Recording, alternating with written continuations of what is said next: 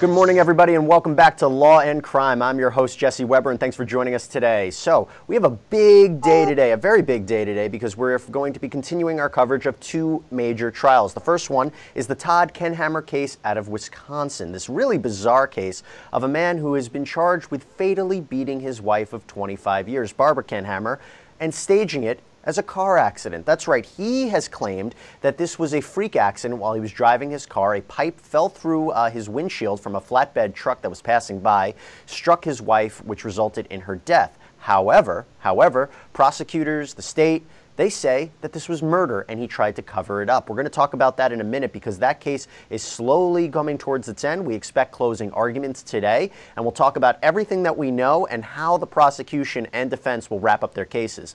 The other case that we're covering is the Zaevion Dobson case out of Tennessee this really sad case of a 15 year old high school football player who was shot and killed when he sh- shielded his friends from gunfire. That's right. And these shots were alleged to have been fired by those three men Christopher Jerome Bassett, Richard Gregory Williams III, and Kipling Colbert Jr. Those three men are on trial for this young boy's death. It's been a back and forth between the defense and prosecution about what the motive of this uh, alleged shooting was. Was it uh, related? Was it about a girl? What was it about? The reason I'm sure we're showing this rap video is that is a big point of contention in this case. The three defendants are in this rap video, and it's being put forward by the prosecution to say they have gang affiliations. Listen to the lyrics, listen to their propensity to violence. This is important. This shows that this killing was gang uh, related. What we saw yesterday was testimony, which I'll tell you, I don't think I've ever seen anyone uh, testify on this, was a liberal arts professor who testified to hip hop culture and rap music and the lyrics. We'll talk about that as well. But I do want to focus right now on the Todd Kendhammer case. And there's a lot to talk about, and here to help me talk a little bit more about it is former federal prosecutor Kendall Coffey. Kendall, good to have you back on the Law and, uh, Law and Crime Network. Hey, good morning. Thanks for including me in this fascinating uh, discussion about a fascinating case. Fascinating. That is the key word here, fascinating. So now I'm, I'm sure you had the opportunity to see Mr. Kendhammer take the stand a lot of people felt he didn't do a great job on the stand. That even if he, even if everything he says is true, that this was an accident, he's leaving more questions for the jury. Specifically, the fact that he's having trouble recalling what actually happened during the accident and why was he in the car with Barb to begin with. What do you think about it? Well, he looked very nervous, uh, tentative, and weak. He got sliced up pretty good on the cross examination, so. it's a reminder of why defense lawyers can be very reluctant to put their client on the stand. On the other hand, uh, there was something about him that didn't seem cruel. Uh, it didn't seem like just look, just looking at him, just kind of listening to him, engaging his tone. He didn't seem like the kind of guy who would violently beat his wife to death. And so if we were to just take his questions and his answers, you'd give him a pretty poor grade. But uh, I thought there were parts of his uh, demeanor that, that might have seemed uh, vaguely sympathetic. So it wasn't a complete disaster. Obviously, we'll find out when the jury speaks what uh, they thought of his testimony. See, I think it's two opposite sides of the spectrum. The case that we had just covered uh, previously, and Kendall, I don't remember if we had talked about it, was the Adam Matos case. And this guy, when he took the stand, was like a robot. No emotion, no expressions. And you can at least see from Kendhammer some emotion and, and despair when he's talking about certain details. We're showing the video of it right there. Um, and I wonder, I wonder, in the end, does this spell reasonable, reasonable doubt for at least one juror? Well, he seemed kind of sad, didn't he? Uh, and I mean, that could be sad because he fears the consequences of being a murderer, but it could also be sad because his his wife was uh, uh, it, it, was killed. And you know, I didn't think that the uh, the prosecution had a real clear thesis of motive. Uh, for all we know, he loved his wife, and uh, so I think if you take a guy who looks timid, halting, again, got tripped up a lot in cross examination on some inconsistencies. Uh, could the jury see him as somebody who's, uh, frankly, just a a, a husband who loved his wife who got lost and badly confused in some sort of tragedy. That's certainly the defense argument, and, and it could, I mean, it's, it's not the worst reasonable doubt argument I've ever heard. Then again, people who commit uh, murders or commit serious crimes, they might have never committed a crime, a murder, anything in the past until something has brought them to that point in their life when they actually do it. And we don't know what was spoken in that car. We'll never really understand the intimacy between these two people. Maybe they shared things that they didn't share with anybody else. So as much as we can look the, from the outside and see what their relationship might have been, the flip side of it is we really don't know. Now, the, the question is, though, for, for this man, what I seem to have an issue with, and I think what more people are having an issue with, is let's talk about the activity before the incident, okay? Barb Kendhammer really wasn't late to work. We looked at, they looked at her work record. She wasn't late. She showed up at 8 o'clock. If she was going to be late, she had to call her office and to let them know that she was going to be late. She didn't do that th that morning. She usually called her mother every morning, okay? She didn't call her mother that morning. Todd called her mother that morning. And then let's not forget the fact, where were they going? Uh, two witnesses testified that they didn't arrange with the defendant to replace a windshield that morning like he had originally had said to authorities and under testimony. And the defendant says he was mistaken when he told police the names. He says it was somebody else. He said he was, he, when he looks back at that interrogation tape, it, that wasn't him. How, do, how does a reasonable jury, juror, excuse me, or jury make sense of this activity in the morning? Well, the most, frankly, the most logical explanation is consistent with the prosecution's view of what happened. At every turn where something could have corroborated some part of Kendhammer's explanation, whether it was a call to the work, a call to the mom, whether there was anybody that wanted windshield glass on the other end of, of the drive, anything at all, it, it seemed like those potential uh, boxes that could have been checked with an item of corroboration all stayed blank. And so, if every possibility of corroboration, something to back up what he's saying, simply vanishes, then uh, that puts him in a great deal of, uh, of uh, risk in terms of the jury's views. And you add to that the fact that his testimony was inconsistent on extra, uh, significant points. And of course, the state had expert testimony to attack his theory. So the state has plenty of evidence. Uh, and uh, his, he's relying on in effect, the defense's own self serving testimony, which at times reflects poor memory and which at other times reflects contradiction. So it looks like a very, very uneven fight, uh, and yet he didn't look like a killer, and there is the reasonable doubt standard. Kendall, what do you say to the argument that Mr. Kendhammer said this in his own interrogation video if I was going to do something to my wife, I sure wouldn't have done it like this. Doesn't this seem more of an elaborate scheme to get rid of somebody, to stage a car accident? Isn't there a, another way to do it? Doesn't the, the elaborate nature of this kind of go against the prosecution's case? Uh, a little bit. I mean, it's such a complicated story.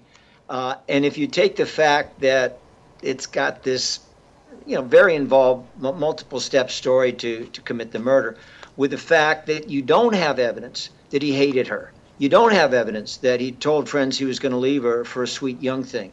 Uh, that, I think, is why this could very well end up being a close case. Yeah. Again, we're talking here with Kendall Coffey about uh, the Ted Todd, excuse me, the Todd Kendhammer case. We expect live coverage in this case at around 10:30 a.m. We'll make sure to go to it. Again, we expect closing arguments in this case for both the state and the defense, and then it'll be up to the jury to decide what to do. Another case, again, we are covering is the Zaevion Dobson case. Uh, we might be covering it here on the network. We can also watch it uh, live on the on lawandcrime.com. This is the case of uh, this 15-year-old high school football player from Tennessee Who was shot and killed when he shielded his friends from gunfire. Those shots were alleged to have been fired by Christopher Jerome Bassett, Richard Gregory Williams III, and Kipling Colbert Jr. Those three men are on trial. And President Barack Obama, as you see right there, spoke so highly of this young man. Uh, Zaevion Dobson died, saving three friends from getting shot. He was a hero at 15 What's our excuse for not acting? ESPN did a 30 by 30 documentary of this young boy. Uh, he was awarded the Arthur Ashe Courage Award. Really sad story. People are following this case. They want some sort of justice, some sort of answers. So, again, we will be following that case as well. But again, our main focus today, right now, is the Todd Kendhammer case, partly due to the bizarre nature of the facts. Um, and as Kendall Coffey and I were talking about, there's a lot to dissect. I want to play right now uh, testimony from yesterday when the defense started calling people that uh, knew the Kendhammers, spoke about their relationship, spoke about Todd's love of his wife, Barbara, and then we'll talk about if that was effective or not. Take a look at Tina McCoy. This is the best friend of Barbara Kendhammer.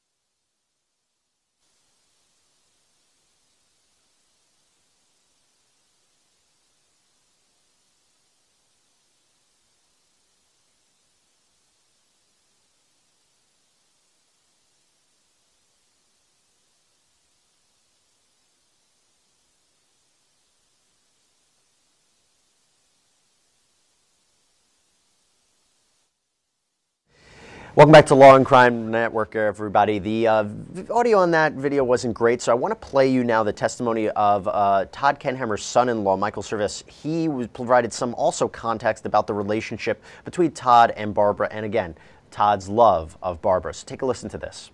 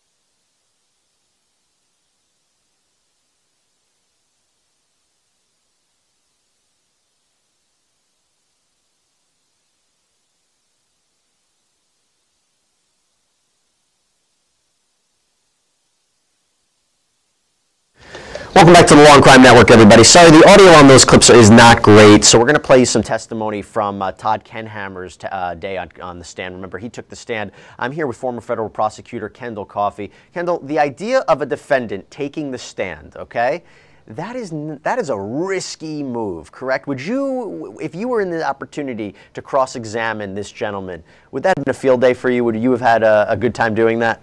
I, I, for many prosecutors, it's the finest hour. It, it doesn't happen nearly enough, but they prepare for it. They have to, even knowing that most of the time the defendant is not going to take the stand. Uh, it's it's a field day because at times you can bring in things about the defendant's past if they take the stand that you couldn't bring in otherwise things that might be impeaching or bad acts or other things that happen in the defendant's life uh, but a lot of it is just inconsistencies and uh, the uh, the ability to find different things in the evidence, different things that the uh, defendant may have said to police officers, and then expose all of the contradictions and ultimately present the uh, defendant as, as a liar desperately trying to save his own hide. Uh, it's not done most of the time for a lot of reasons. One of the reasons it's not done is sometimes defendants are just guilty, and there's nothing they can really say uh, to uh, to extricate themselves. And sometimes even defendants that, that have factual innocence or are factually innocent about part of it are just bad witnesses uh, who can't withstand cross-examination. And then, of course, as I just mentioned, a lot of times you hold the defendant off the stand because of all the stuff that might come out if you put the defendant on an exposure. So sometimes you got to do it, especially in a tough case and a desperate case. Uh, but it's the most difficult decision any defense lawyer can make whether to put his or her client on the stand. And it's one of the most uh, important and frankly fascinating opportunities for a prosecutor when the defendant raises his or her hands and uh, swears to tell the truth. Exactly. All right, let's play a little bit of uh, Todd Kendhammer under cross examination, really being grilled here, and uh, we'll be back here with more analysis. And every day that wasn't Labor Day or uh, Friday and Saturday, she called her mother, didn't she? Yes, she did. The time range. And every day that wasn't Labor Day or uh, Friday and Saturday, she called her mother, didn't she? Yes, she did. The time range was around 7:45, give or take five minutes. Am I right about that? Yes. And the times ranged from seven to 10 minutes. Yes. Five to se- yes, five to ten minutes. On Friday the 16th, she not only didn't call her mother at 7:45, she also didn't call work when she was going to be late. You have no explanation for that, do you? No, I do not. Did she always keep her purse in the back seat on the seat Usually, yes. with her phone in it so she couldn't reach it?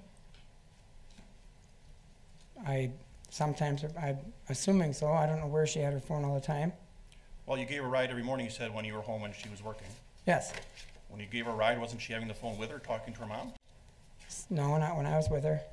Usually, she wouldn't have her phone with her. Would she keep it close to her? I don't know. I don't know where she kept her phone. Okay. You had talked about having no stress in your marriage. You were about to change work schedules on that Friday night, correct? Correct. When did you know about that change? Month before, two months before. Your son thought you had the weekend free, correct? Correct. Barb also thought you had the weekend free? No. Weren't you already in trouble at work for calling in sick too much? No. Can you have five points against you at work I had four points against me at work. for calling in sick? Yes. So you were getting in trouble for calling in sick to work? I would have got a verbal yes. Okay. I'll just ask you. You were getting in trouble for calling in sick too much to work. I hadn't yet. No. Well, you're about to if you called in sick one more time. Yes, I was about to. Friday night, you're going to call in sick anyways Correct. and risk a warning. Yes. Instead of taking the free day that you could have had, right? Correct.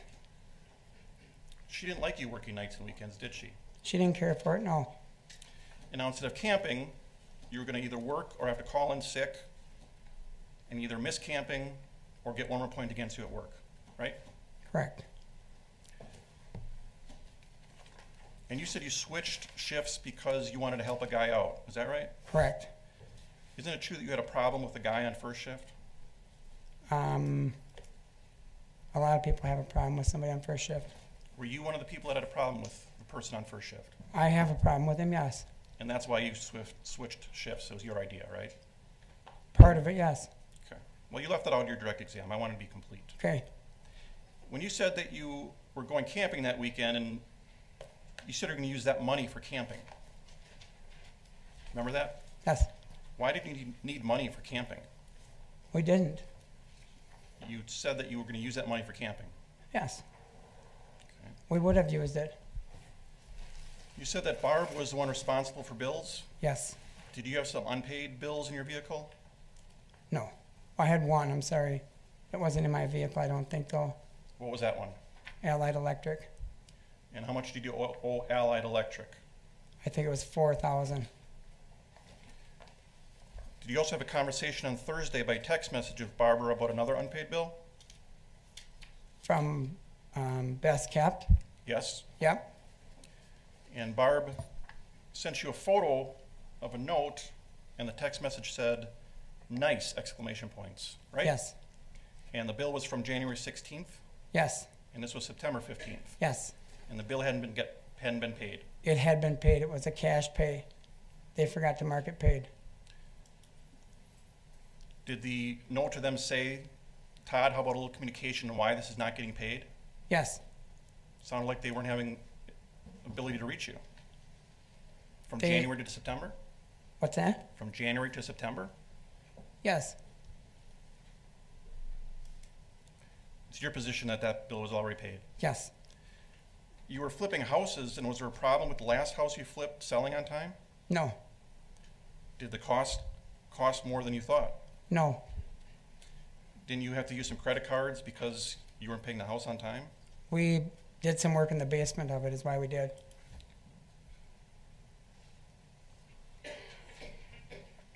You had been fired previously by A1 Glass, Correct?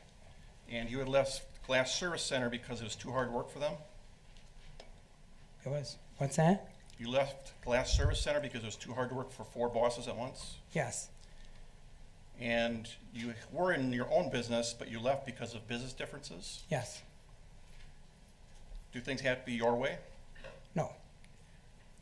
Were you concerned, or was Barb concerned that, once again at Crown, you're gonna have to leave because you're having difficulties with people? No. That you're gonna have to change your schedule because you're having difficulties with people? No. When the police noted scratches on your neck, you first said that that was from working with glass, correct? I said that, yes. You don't work with glass at Crown, do you? No. And you work with windshields, but that's not the same as working with broken glass, right? I, I assume when you install windshields, you're not getting scratched up from broken glass. It depends how bad it's broken. Well, were these scratches from glass? No. Not not from glass doing at home. You said it was from working with glass. Correct, I said that. That was a lie. It wasn't a lie. It was not true. It was not true. The scratches were from her trying to get you off of her, weren't they? Nope. The two of you were fighting and she was scratching your neck. Nope. She was scratching your neck, her neck, her nail broke. Looks like a fight, doesn't it? No. Not at all? Well, it might look like it, but it wasn't. You said that you had to, in the police interview, you had to drag her out of the car. Do you remember that? I do remember that. You also said that she rolled out at first, but you put her back in. Do you remember that? Yes, I do. You said that the door kept closing. Do you remember that? Yes, I do. If you're standing between the passenger door and the car when it's open, you'd be facing Barbara on the seat. The door would be behind you, right? Beside me, yes. Wouldn't it just be easy to just keep the door on your back, hold it open, and attend to Barb? A lot of things would have been easy. Well, that would have been easy, right? I can't say that. Well, you could keep the door open pretty easily with your behind, right? Right? Uh, you could, yes. And you said she first rolled out, but you had to put her back in to get the pipe out of the way, right? Yes. How was the pipe in the way? I don't remember how it was in the way. It was hanging in the way. In the way of what? What was in the way of? The pipe was hanging through the windshield, Yeah? down past the, s- by the seat, Yeah? What was in the way of? getting Barb out of the car. Okay. The pipe wasn't lodged in the windshield solid, was it? It was loose. Yes. You could just take that pipe and just slide it back out from the inside and attend to Barb, right? In a perfect world, yes. Well, in any world, right? In this world. Objection argumentative. Sustained. Why wouldn't it be easy in this world to slide the pipe out and attend to her? I wasn't think. I mean, I wasn't thinking that. Well, I don't know. I mean, um, the door wouldn't stay open, and I was trying to contend with her, and She was unconscious. at that point, yes, It wouldn't have been easy to just pick her up and move her out, would it? it wasn't. No, Why wasn't it easy? because something was caught on her. What was caught on her? I don't know what it was. Well, there wasn't anything down by her feet, was there? Something down there was caught on her. Yes. The only thing in the photos is her shoe. Okay. Well, what else, what would have been caught on her then? I, I don't. Something was Objection caught on calls her. For speculation, asked and answered. Overruled. You don't know? Answered. I don't know. One of her shoes was left in the vehicle, and the other shoe was behind you, next to the car, right? Yes. Were they kicked off in a struggle outside the car? No. Did it look like scuff marks from a shoe on the side of the car to you? I didn't see it. You saw the pictures. Yes, I did. Did you throw one shoe back in the car and couldn't find the other shoe because it was so far behind you? No. Well, you didn't drag her out over that seat, did you? The passenger seat? Did you pick her up or drag her out? I kind of pulled her out. Pulled her out? You saw the dirt on the side of the passenger seat, right? Yes. Didn't look disturbed, did it? No. Now, you said to the police that a pipe came off the truck. Do you remember that? I did say that, yes. You said it a number of times, didn't you? I did, yes. You actually said that you saw it as it came off the truck, right? I did one time, yes. You said it rolled off the truck, right? I thought so, yes. Now, today you said you didn't know what it was until after it hit the car, right? Yes. You thought it might be a bird at first? Yep. Did you think a bird would come through the windshield? No. You wouldn't have to hit your fist at the windshield for a bird, would you? No. If you didn't know what it was until after it was in the car, why would you need to hit the windshield? Because I did say at one point that I, it was a pipe. Well, you said at one point, but did you see a pipe coming at you through the air? I did at, at yes, I did see a pipe coming. At what point? I couldn't tell you. I don't remember. It went pretty fast, right? Yes. And if at first you didn't even recognize it, you had even less time to react, right? Yes. And you motioned on direct examination of how you punched the windshield, and you motioned with your left arm across your body up towards the windshield, right? That's how I thought it was, yes. But you had marks on all eight knuckles of your fist, right? Yes. And injury to your thumb, right? Yes. You think reaching over your body, you wouldn't just hit the back of your hand? I don't know. Well, it's because it didn't happen, right? Yes, it did happen. You punched the windshield with enough force that quick because you thought you saw a pipe coming at the windshield. Yes. And you didn't react Welcome back to the Law and Crime Network, everybody. This is Jesse Weber. I'm here with Kendall Coffey, a former federal prosecutor, talking about the Todd Kendhammer case. Uh, Kendall, we were listening to the cross-examination of Todd Kendhammer when he was on the defense, uh, when he was on the witness stand. How do you think he did under uh, that cross-examination? Because again, he couldn't talk, he couldn't really precisely articulate how Barb was caught in the car. You know, what was she caught in? Uh, he doesn't even know how the pipe was in the way. Um, there was a lot of questions that he had about what the object was coming towards the car. Again, speaking about these um, these vague details, how much of it is the fact that if someone's in a car accident, they might have trouble remembering, or how much of it is someone's covering something up? Well, he didn't do well. Uh, that's an understatement. And it comes down to the, the possibilities that you suggested. If the jury finds that there's something sympathetic about him, uh, that he just doesn't have the cold-blooded look of a killer, the robotic tone uh, of a killer. They might say, well, anyone who's in a car accident like that, they lose their wife, they're so shaken, they're so traumatized, there's going to be a lot that they remember or remember badly or get confused about, and that that condition uh, is something that in human terms is understandable. Uh, if, on the other hand, they, they keep looking for something to back up his story.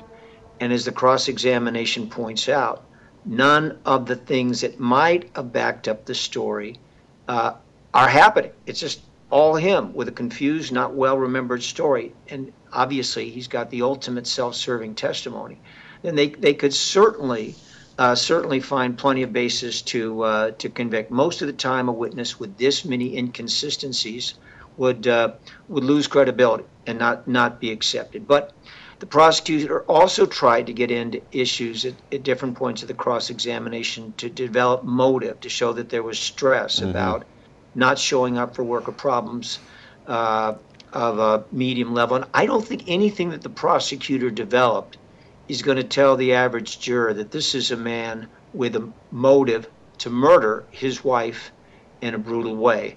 Uh, and I just share very quickly one one experience I had where I thought in a trial I pounded the defendant like a drum uh, with inconsistencies and, and, impeachment. We got it. There was a directed verdict on the case, so we never went to the uh, the question. But afterwards, speaking to some of the jurors, they still thought that uh, there were sympathetic things about the defendant. And and while I may have knocked him around in the ring. There, there wasn't the KO that I thought there was.